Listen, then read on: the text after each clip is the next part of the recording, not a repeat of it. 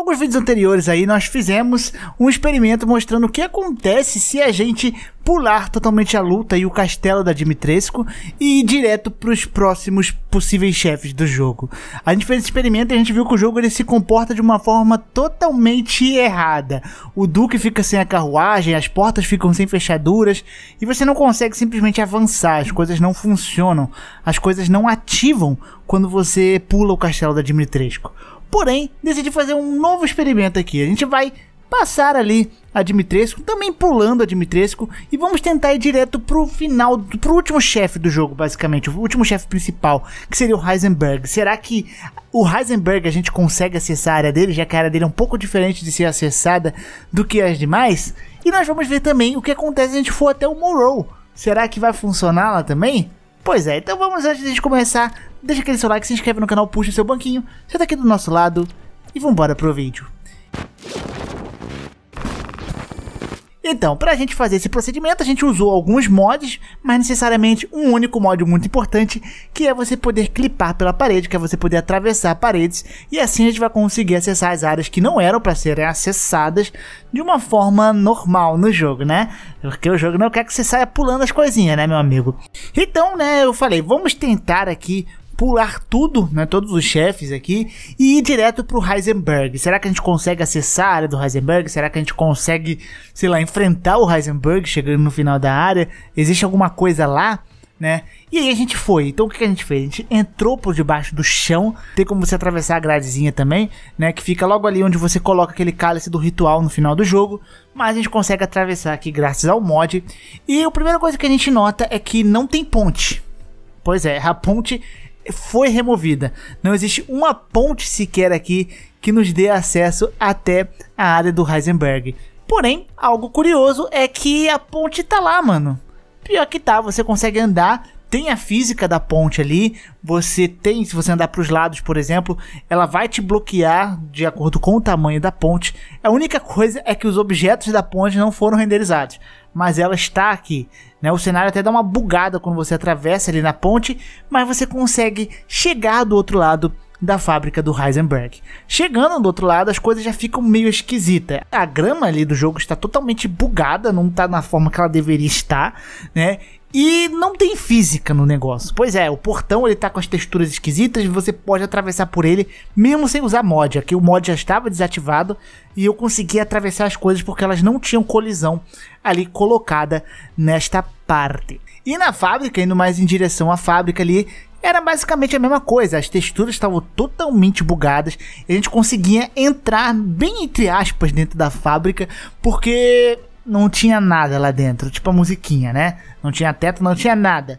Não tinha nada, era um vazio total ali dentro. Então você não tinha a, a sala ali que você entra, que você conversa com Heisenberg, onde ele te joga ali para aquele bichão do, do, das hélices lá. Nada. A gente consegue acessar a parte de trás da fábrica, que me relembra muito a arena contra o Heisenberg. Provavelmente aqui eu acho que não tem outro lugar para ser a arena do Heisenberg. Porém aqui tá sem aquelas cercas ainda, tá sem as grades, tá sem os painéis ali de, tipo aqueles postes de energia que tem ali durante a luta do Heisenberg, tá tudo cru, nada está construído aqui.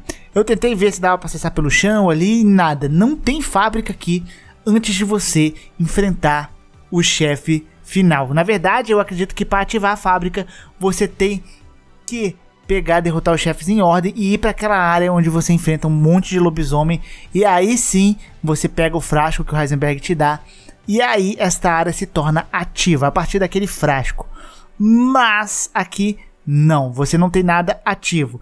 Mas você me pergunta por que que tem a fábrica assim, né? Todo esse design da fábrica, se não é nada funcional ali. Isso simplesmente porque eu acredito que é para poupar memória, talvez, mas que você tem essa fábrica mal construída que é só para você poder ver do horizonte. Você consegue olhar do horizonte e ver o castelo, por exemplo. Você consegue também do horizonte ver a fábrica do, do Heisenberg, mas aquilo ali está apenas visual por enquanto e só se torna algo palpável e jogável quando você ativa um evento do jogo, assim como foi com a Dimitrescu para ativar o Duque ali e a área que o Duque fica logo depois que você derrota ela. Então aconteceu algo bem curioso aqui. Então você não tem como acessar a fábrica pulando todos os chefes aí. Se você descobrisse um método sem usar cheats, por exemplo, ainda não daria. Mas, por incrível que pareça, o Morrow ele funciona de uma forma curiosamente interessante, tá? O fato que quando você tenta atravessar para a área do Morrow atravessando a parede, né? Você não tem a chave ainda. O fato é que você não tem aquele lobisomem grandão ainda, tá? Que você enfrenta ele logo ali, aquele lobisomem diferenciado. Porém, existem alguns lobisomens dentro de algumas casas ali. E, por incrível que pareça, quando você chega ali, tudo da área do Morrow está extremamente funcional. Você passa por lá, você atira naquelas gosmas que ficam bloqueando seu caminho, elas estão funcionando. Você atira na gosma, tem a escadinha, ela tá funcionando. Você entra lá no moinho e tá tudo funcionando. Muito interessante. E aí, quando você vai e segue o caminho, você simplesmente consegue ativar a cutscene para enfrentar o Morrow normalmente, cara. Olha que, que louco, né? Então você consegue pegar aquele frasco que fica na janela, o Morrow bloqueia seu caminho e você pode seguir em frente ao jogo normalmente. Então o Morrow sim, é possível você enfrentar ele sem ter enfrentado os outros chefes. O jogo comporta-se desta forma sim, permitindo né, você basicamente aí lutar com o Morrow né, de uma forma totalmente legítima e funcional.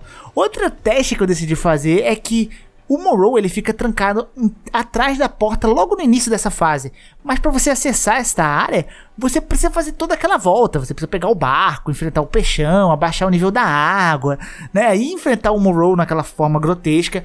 E aí, quando você enfrenta ele naquela forma grotesca, é onde você vai para esta área em questão, onde tem a TVzinha, né, que é onde rola a cutscene da primeira vez. Só que ali você entra mesmo onde tem a TVzinha, tem uma chave pro Heisenberg, inclusive.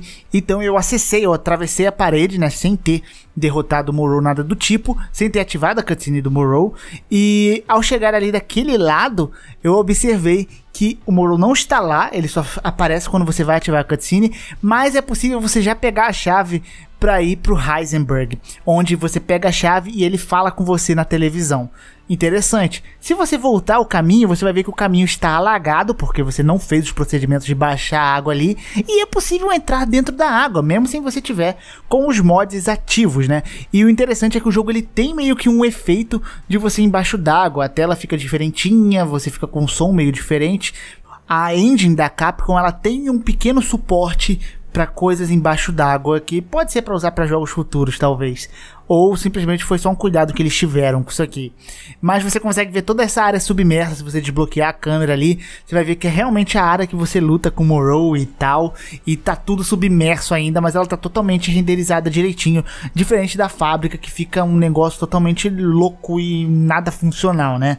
E curioso dessa forma que acontece aqui.